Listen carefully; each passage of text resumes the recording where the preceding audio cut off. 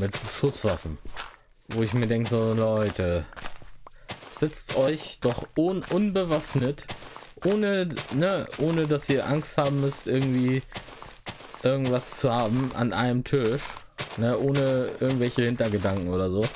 Einfach an einem Tisch setzen, sagen, hier, so wie sieht's aus? Was wollt ihr? Was wollt ihr? Was wollt ihr? Ne, so, ich sag mal ganz doof. Pa äh, ne, hier Regierung A und Regierung B. Weißt du, Regierung A ist von dem einen Land, Regierung B von dem anderen. Und da fragt man dann einfach nur so, Regierung A, was möchtet ihr? Ah, ihr wollt das und das Gebiet haben. Okay, notieren wir mal. So, wir können ja darüber diskutieren.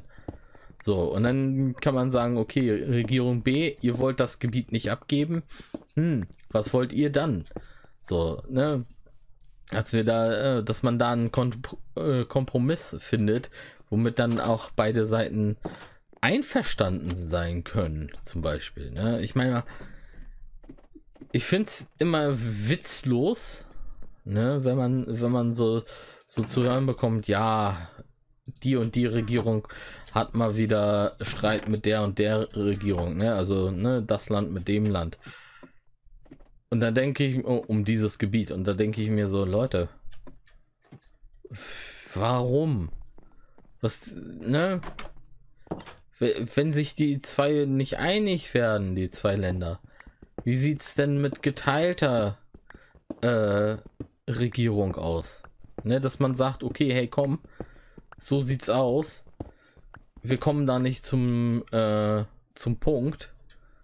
Äh, wie sieht's dann aus, wenn wir das äh, so machen? Wir teilen uns das Gebiet.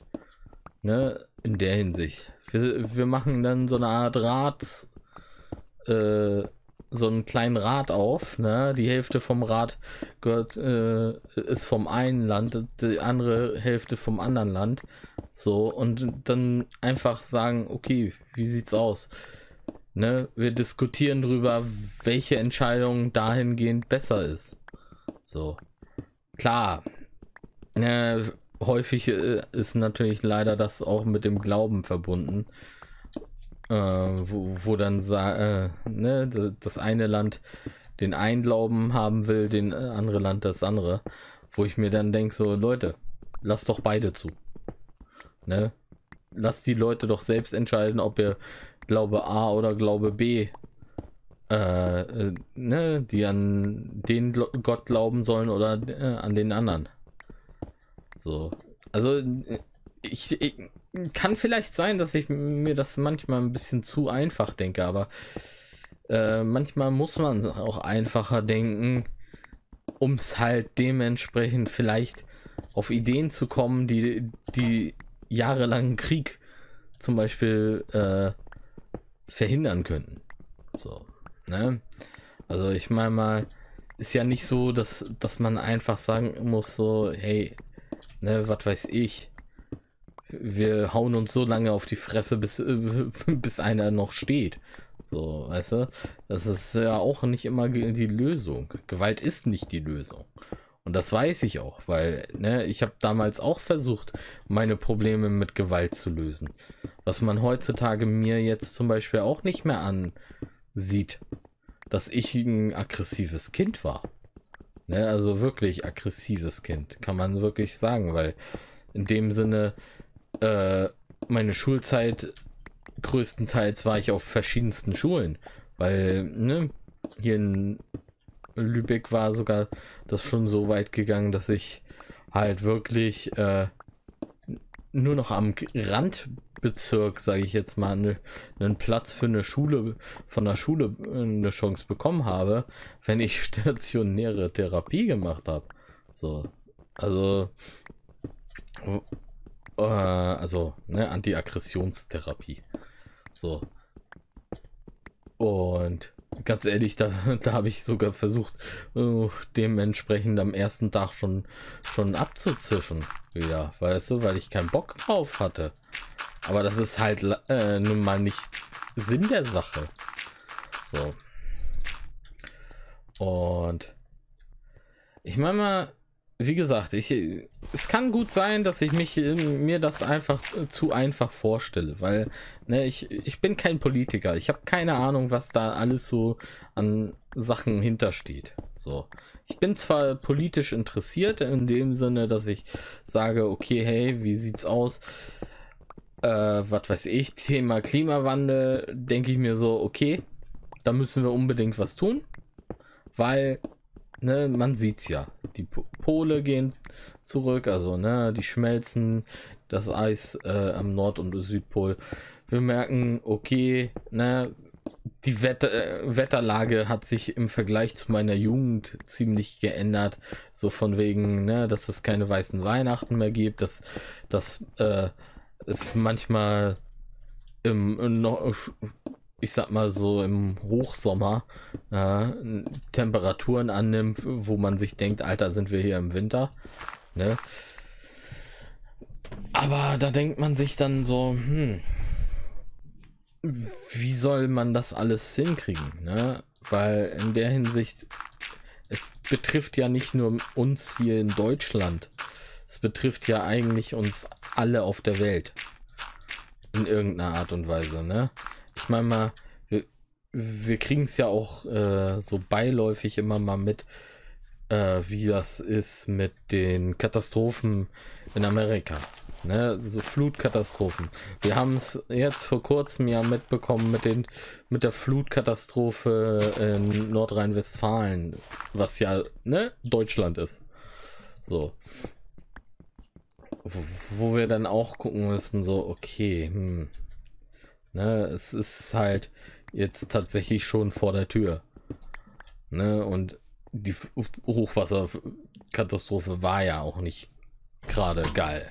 Die, die, ne? Sowas ist nicht geil. Deswegen, man muss halt schauen, hey, wir haben da Probleme, die wir versuchen müssen zu lösen, weil sonst auf Dauer das zu größeren Problemen führen wird. So, ne?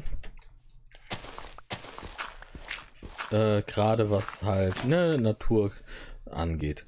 Weil wir haben einfach viel zu lange die Natur auch ausgebeutet. Das ist so. Ne? Und da ist keiner, ich sag mal, harmlos gegen oder äh, unschuldig gegen. Es sei denn natürlich gerade neugeboren. Die können ja herzlich wenig dazu äh, beitragen. Ne? Also Neugeborene können ja herzlich wenig dafür. Aber ich sag mal, die Leute, die wirklich schon im Erwachsenenalter sind, ne? Gerade die sollten dann schauen, hm, was machen wir? Ne? So, was, was können wir tun? Was äh, was ist so unsere On-Point-Motivation, sage ich jetzt mal so.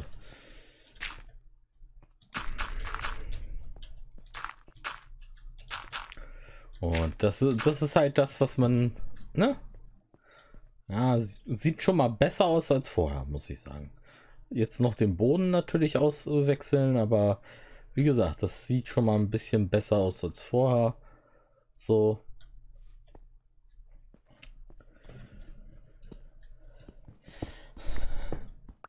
Ja, und wie gesagt, also da, wir müssen gerade jetzt zu solchen Zeiten, ne, ich meine mal, klar, wir müssen uns auch erstmal von einem Problem ins andere stürzen in der Hinsicht, weil äh, ne, momentan ist halt noch Pandemie, so.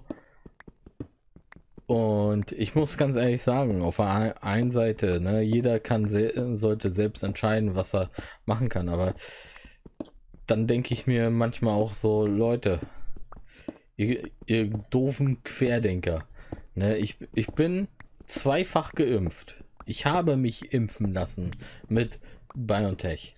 So, ne, ich habe beide Impfungen durch, soweit. Ne, ich muss halt auch Maske tragen. So. Gerade in öffentlichen Verkehrsmitteln und auch ne, in, im Laden. Und ich, mich trifft es dahingehend ein bisschen schlimmer als, äh, ich sag mal, so ein.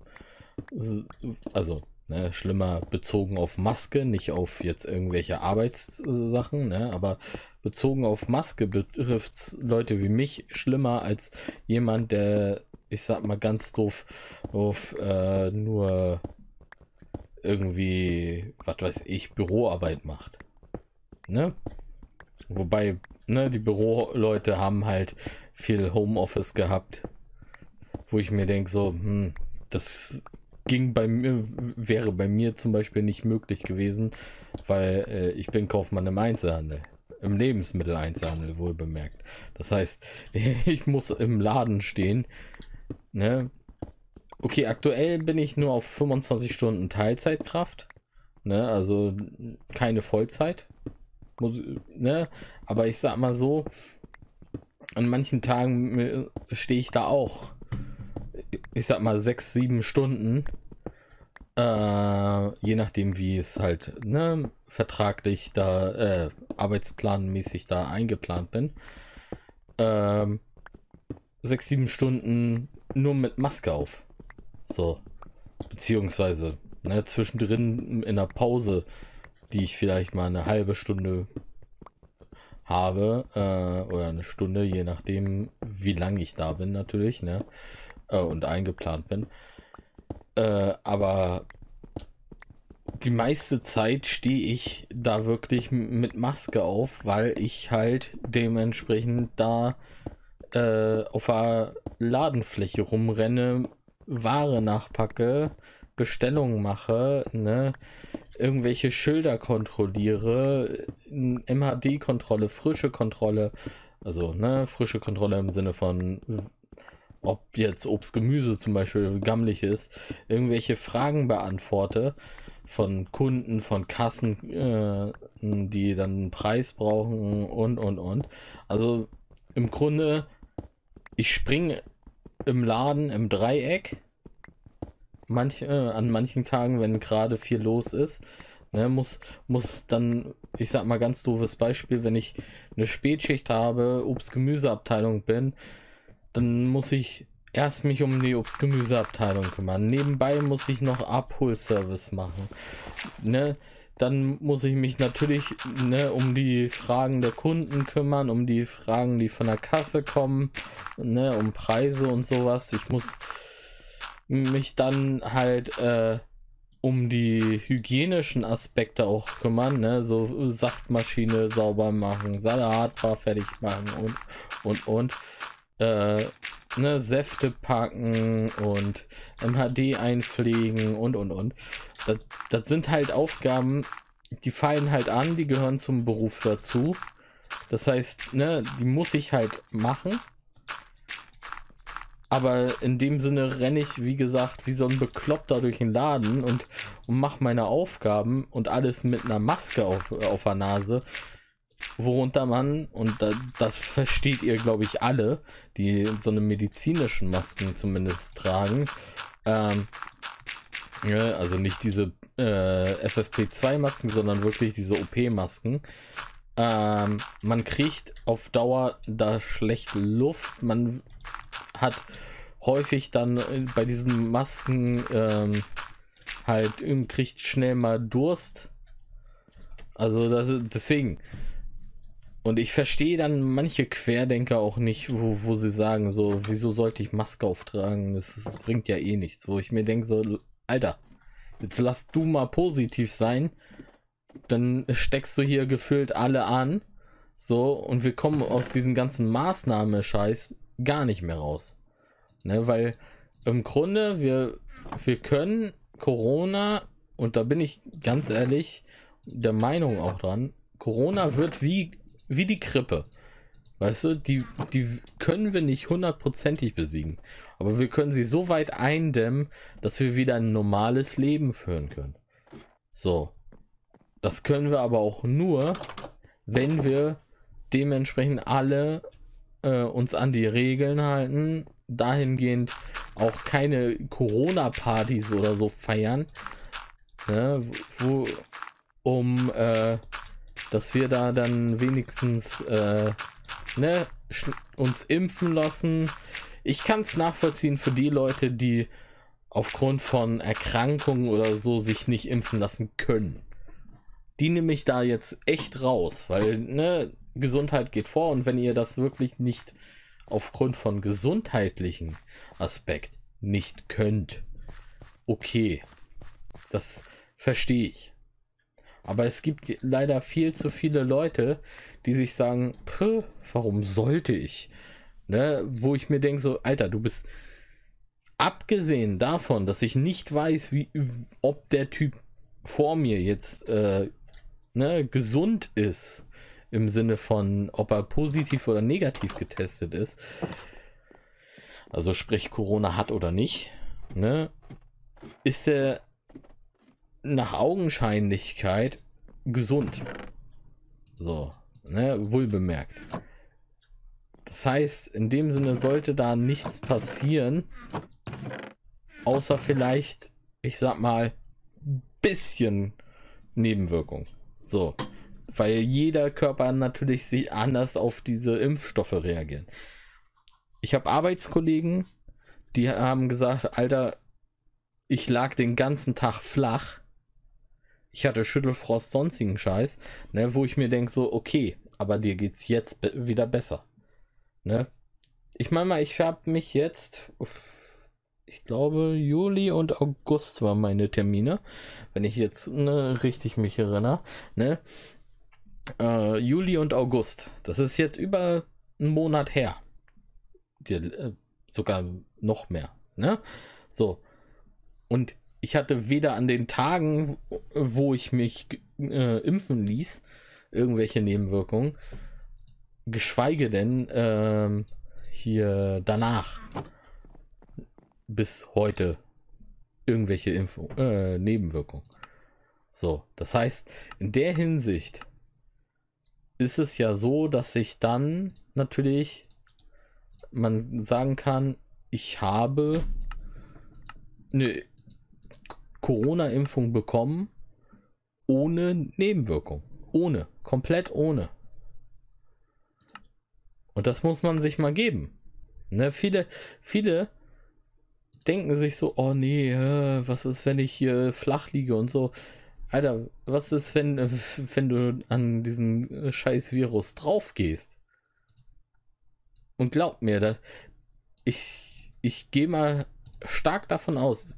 Klar, ich kenne jetzt selber keinen im Bekanntenkreis, wo ich wüsste, ob der da ne, an, an Corona irgendjemanden verloren hat. Das weiß ich nicht. So. Aber ich sag mal, die Leute, die verstorben sind, sag, erzähl denen mal oder den Angehörigen dahingehend mal, äh, dass du nicht an einem Coronavirus glaubst beziehungsweise nicht dran glaubst, dass man daran sterben kann, weißt du? Deswegen, ich finde es man, manche Leute einfach, ne,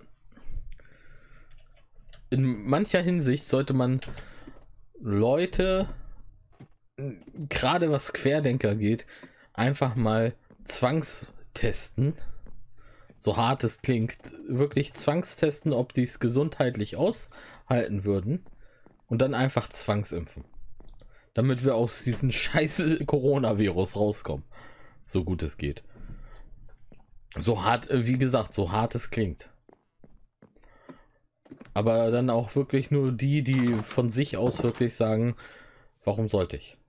Ne? Weil ich finde sowas einfach eine Frechheit von den Leuten, die einfach sagen, ja, warum ich habe eh keinen Bock drauf, so, ne? Ach so, warte mal. Ich muss ja für das Feld ja eh erstmal äh, in den Geller. Beziehungsweise, ne? Ich brauche erstmal Redstone. Ähm, ich brauche Redstone, damit ich hier halt auch schauen kann. Dingsen. Also ich werde jetzt erstmal glaube ich, gleich noch mal äh, ein bisschen auf Wandertour gehen, damit ich noch ein bisschen Material farmen kann. Ich brauche dafür... Ich nehme mir hier die drei Diamanten das Eisen mit. So. Mach mir hier auf jeden Fall schon mal eine Spitzhacke aus Dias. Eine Dia-Spitzhacke. Und natürlich dementsprechend natürlich Eisenspitzhacke, ne?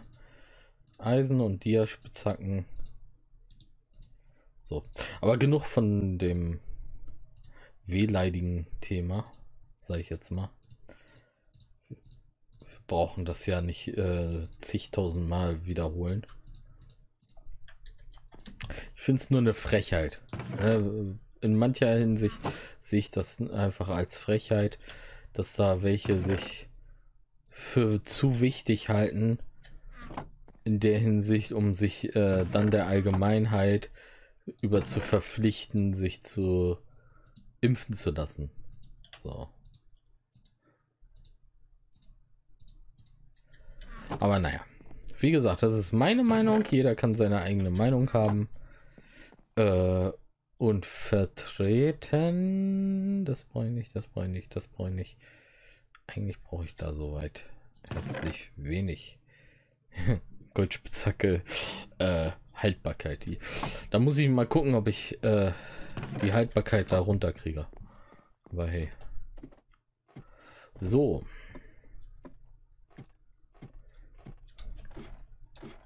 Nein?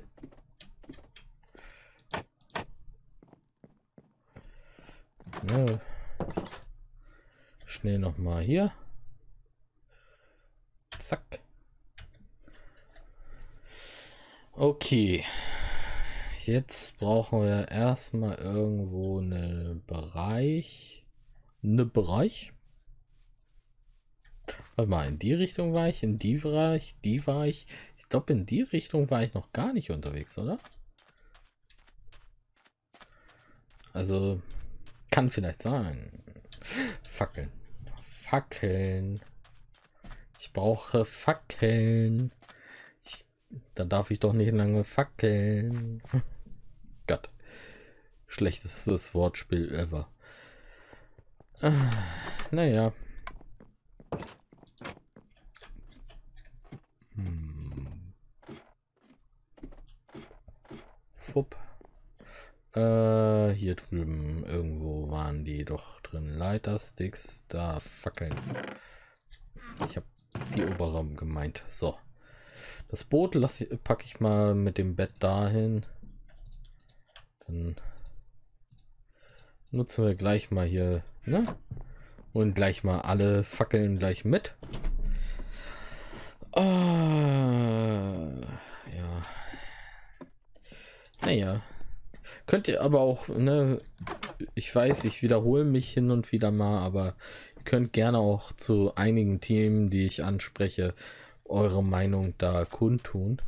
Ne, Würde mich zumindest interessieren, was ihr, wie ihr halt gerade zu solchen Themen wie ne, Corona und so. Uh, Hallöchen. Dich lasse ich mal leben, damit ich hier halt. Oh, noch mehr. Nice. Also Hühner habe ich schon mal. Nice.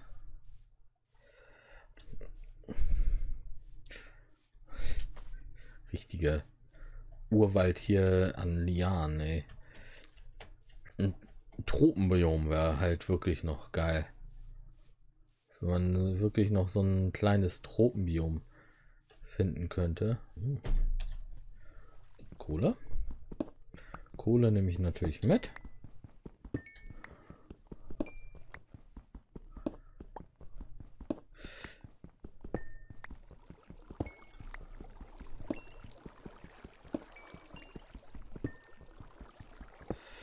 Kohle können wir nicht genug haben.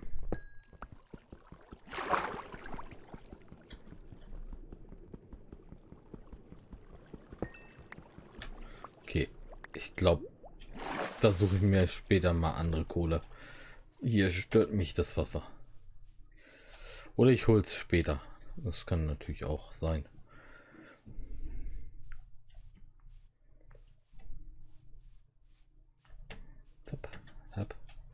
Alter.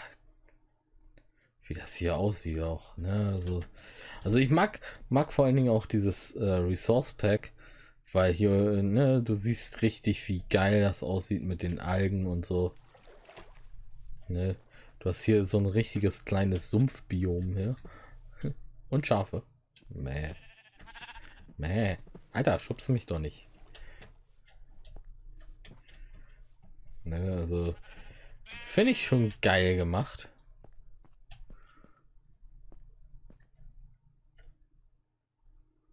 Okay, sah nur so aus.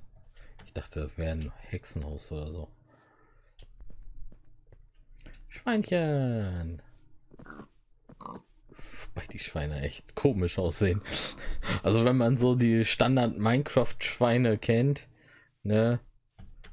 Und dann sieht man solche, denkt man sich auch so, mm alles klar. Ist aber ein großes Sumpfbiom. Zählt ja eigentlich als Sumpfbiom hier. Der ganze Kram.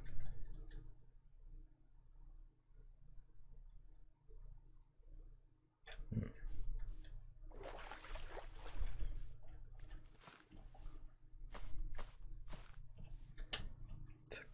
Zack. Na komm. Lass mich irgendwo hoch. Noch mehr Hühnchen.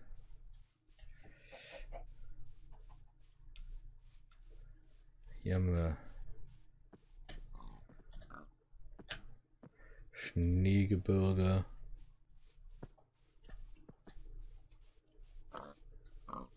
Schweinchen. Ach ja, ach ja, ach ja. Witz, witzigerweise, uh, was sehen denn meine Augen? Ah, das sieht doch nach Kürbissen aus.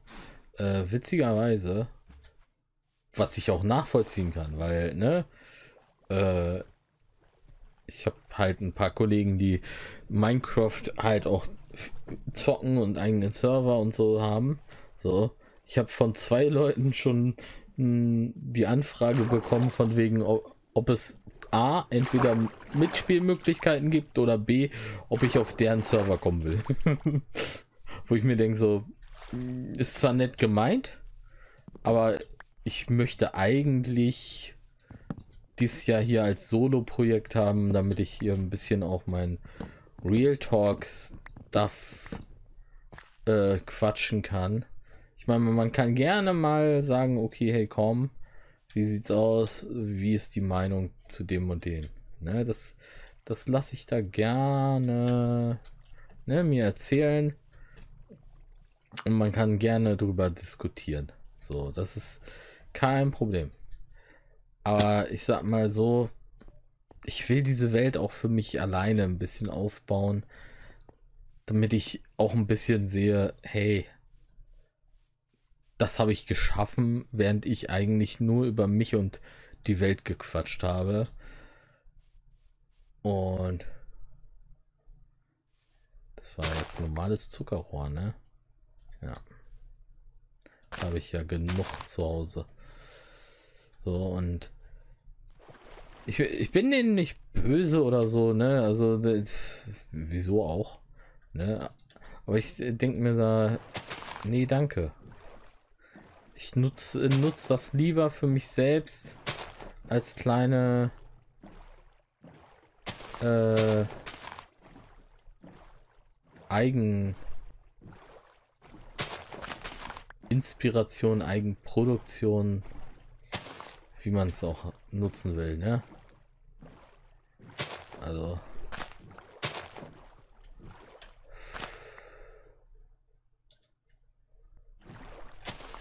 Was ist da? Alter, wie viele Seerosen sind denn hier? Holy.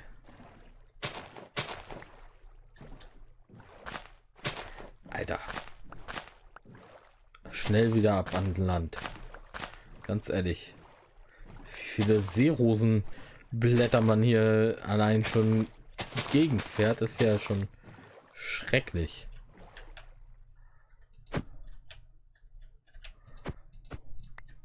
So. Brot habe ich eingesammelt. Jetzt muss ich nur mal kurz hier oben hin, weil es wird dunkel. Schnell mal pennen.